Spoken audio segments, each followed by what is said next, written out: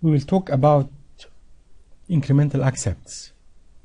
And this is the optimization that allow us to send one command at a time from the proposer to an acceptor. And also we'll end up also by having incremental decides. Once we do these two optimizations, we are now having a complete algorithm. Okay, so let's start. Talk about incremental accepts. And here is our situation. Let us look to the first accept. The first accept comes after a proposer does uh, a prepare and sends a prepare message to acceptors.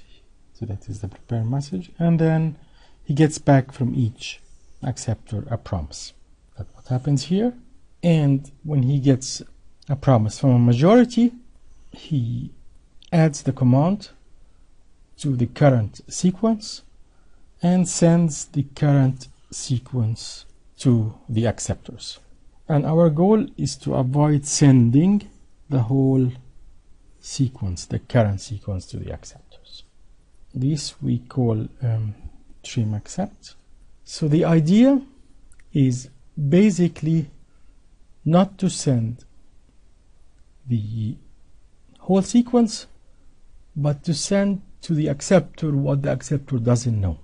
That's why we say that an accept message contains a suffix vs and an offset offs from which an acceptor q can recreate the sequence. So what the acceptor does, it truncates its current accepted sequence to the offset and appends the suffix that it got from the proposer.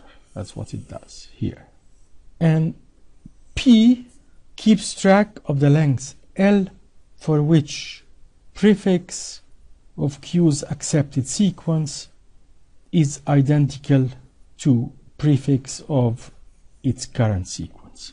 Basically what the proposer does, it tries to keep track of what is a knowledge of the different acceptors and this will be stored in the array S with a field for each acceptor. So this is the basic scheme, but we are going to distinguish between the first accept message around N and subsequent accept messages in the same round. So the first thing the acceptor has to do is when it tries to acquire knowledge from each acceptor, Qi. And by this I mean what is the current QI's uh, accepted sequence and the current QI's decided sequence. And we have always an invariant that an acceptor always have an accepted sequence that is longer or equal to the decided sequence. So what does it do? When it sends a prepare message, it sends with it its own knowledge about what is decided. Okay? VD of the proposer P. So what the acceptor does then, it sends back a promise. This promise tells the, the acceptor what is the current round number it can accept things in, what is the suffix of the accepted sequence that P doesn't know. And also it sends back the length of its decided sequence. So that is what happens at the promise. So we're still talking about the first accept. This is the accepted suffix that P doesn't know. And this is its knowledge about the sequence that is decided. So when an acceptor gets a promise from Q, it now can store this information about that specific Q. So it stores information about the length of the decided sequence that Q knows of. It says acceptor Q has accepted that much of its uh, prefix. After it got a promise from a majority, that is this part, it looks and sees what knowledge does each acceptor has. And so what it does here, it updates its knowledge of that acceptor and it sends the suffix of VC, its current sequence, that the acceptor doesn't know and also the position, the start of that suffix. Each acceptor has different lengths of what it has accepted before. So, again, what is we do with first promise? Promise contains now the decided. Promise contains the length of the decided sequence of Q and a suffix from Q that the proposer P does not know. A proposer selects the max suffix and adds to its VD plus the any additional commands. So this is about the acceptor that have sent a promise. And now, but what about acceptor that the proposer did not receive a promise from yet at least? So this is situation where we're talking about acceptors after a majority has responded, if any. So here what we have. Normally, we again update our knowledge about the acceptor. So this is says that the acceptor has that much knowledge of the current uh, sequence at the proposer and it sends to those acceptors what has been um, proposed which is basically the suffix of um, VC and the length from where to start to add the suffix. It updates the knowledge that it knows about the acceptor and if LC is not equal to 0 it sends a decide message to Q. So here what we do with first accept other acceptors. Proposer P waits until it receives a promise message from Q before sending first accept message to Q. It needs to do this because it does not know what is the knowledge at Q. So receiving a promise synchronizes P's knowledge about Q. That's why it has to wait before sending the first accept. Because until then, the proposer does not know what the acceptor has. If subsequent has been chosen before P received a promise from Q, then P must send decide message to Q after its first accept. Okay, so this is was uh, what we have seen here. This is where we send a decide message to that acceptor because it means that the sequence has already been chosen if it's not equal to zero.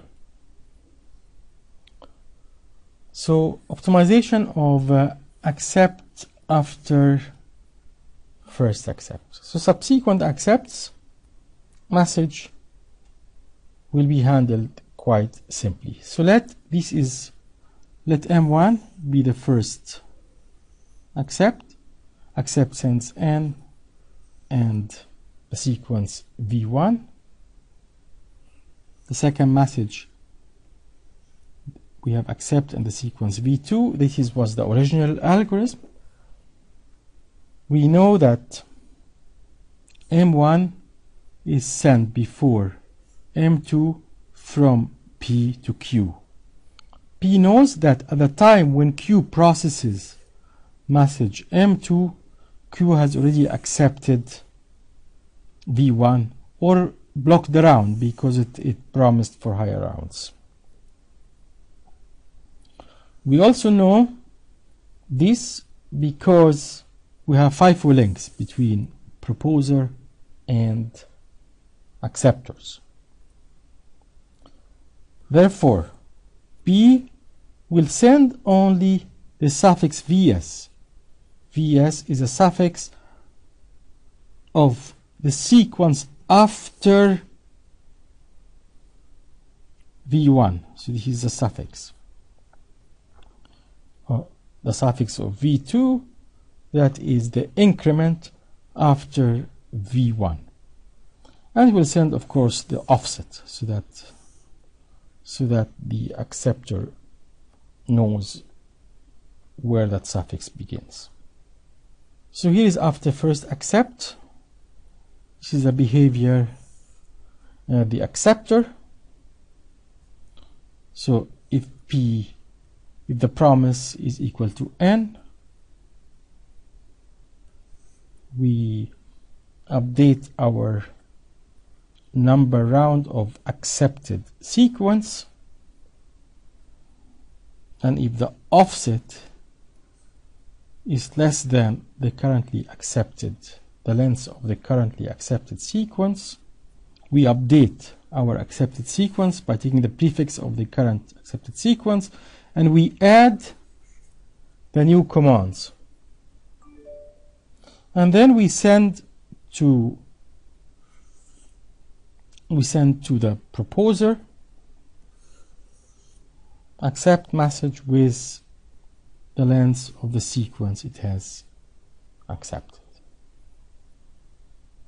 And I think that is more or less it. So here we have all the optimizations that we have done. This is now the accept message just remember we have to distinguish between two cases. Cases of acceptors before a majority is reached. This is this code. And a case for acceptors after majority is reached then we have also to send a decide.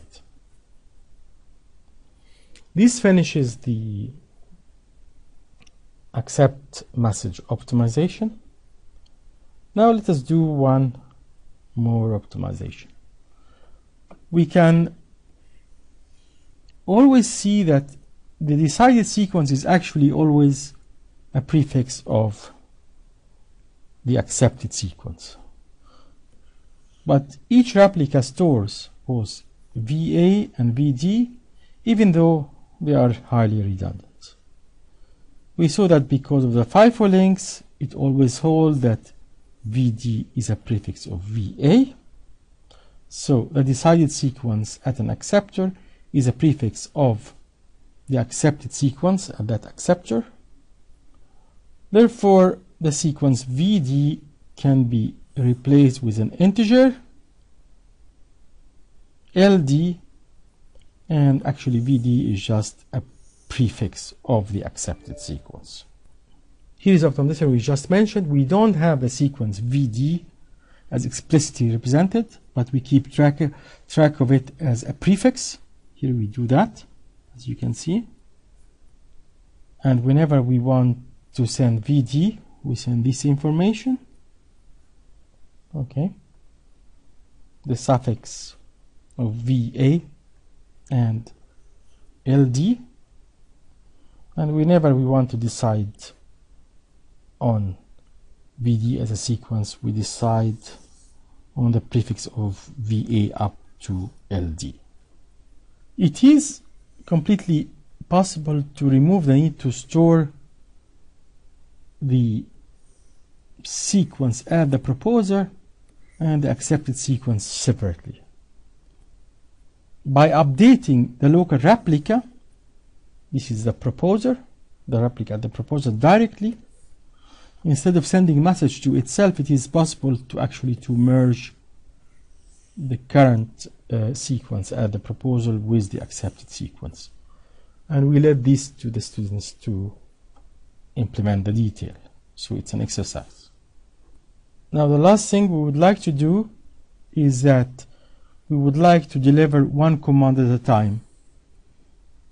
So trigger one command at a time and this as decided command. So currently every decided sequence is handed to the application in its entirety. Probably it make, makes sense to change the API. So decide now will decide on one command at a time so we get stream of decided commands instead of the of getting sequences. So on this side we just go into basically a loop and if L is larger than LD this is what we know until now then we trigger the command at ld ld plus 1 and so on until uh, we decide on all the new commands so this picture shows actually the final algorithm. We have just described that before and we have seen that also before. And that algorithm is actually now the final algorithm for sequence. Paxos to summarize we see that prepare and the length of decided sequence a promise sends a suffix of what is the accepted sequence is an accept sends a suffix of what the proposer knows that the acceptor does not know. You can see it here and here. And the accepted message just only gives the length of the accepted sequence and the decide just gives the length of what is decided and I didn't show here the final optimization that we saw and the decide could now incrementally decide one command at a time. So we have developed a complete and efficient abortable sequence consensus algorithm. I didn't show in the last slide what happens in case of aborts. Abort was like before, things can be aborted, and a propose and the proposer actually retries with higher um, round number and possibly using omega the eventually the election to guarantee that at most of the time there is one leader and that gave us the sequence Paxos, a variant of multi-Paxos. This algorithm satisfies sequence consensus specification. Most of the time it needs one round trip to decide on a command. And the algorithm works also in the fair recovery model where processes can crash and come up again as long as they come a finite number of times they are correct processes and uh, these can happen by having the acceptor storing the accepted sequence which include the decided sequence, the current round number of the accepted sequence, stores its promise, and each proposer should include a global uniquely identifier identifier in each message or each command to guarantee uniqueness of command so that we command will not be duplicated. That's it. So what is next? We now you can think of yourself that how to implement a total order broadcast. We are going to have some unit this will be trivial or replicated state machine. But until now, the number of processes that we assume in our system were, were known and fixed. The next lecture will show how to dynamically add and remove processes to our system. This is needed for making sure that there is always enough number of processes running in the system so that we have a majority of the nodes available to guarantee availability and also when you want to update software in these machines. This is a topic of uh, the next lecture and it is a topic of reconfiguration. Thank you.